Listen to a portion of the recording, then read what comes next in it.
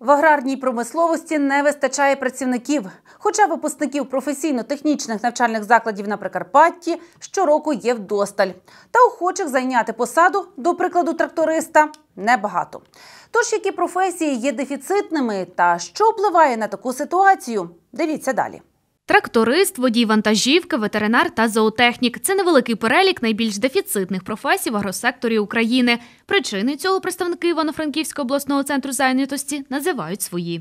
Перше, напевно, через те, що зараз е, така гаряча пора, е, що йдуть збір урожаю.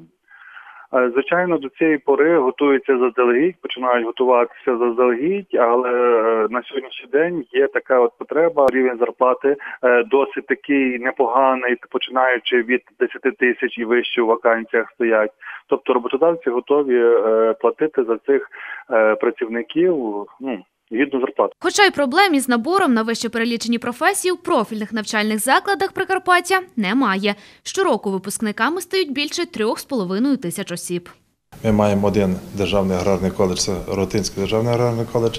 Е, Регіональне замовлення сформовано у розмірі 150 студентів. Студенти набрані тій кількості. В тому навчальному закладі ще є робітничі професії, одна кухар і друга професія тракторист. На групу трактористів ми набираємо 30 осіб, вже станом на сьогодні подано 30 заяв. Інші навчальні заклади, які е, готують для аграрних професій, це є професійно-технічні навчальні заклади. Е, Виконано набір станом на сьогодні в межах 45%.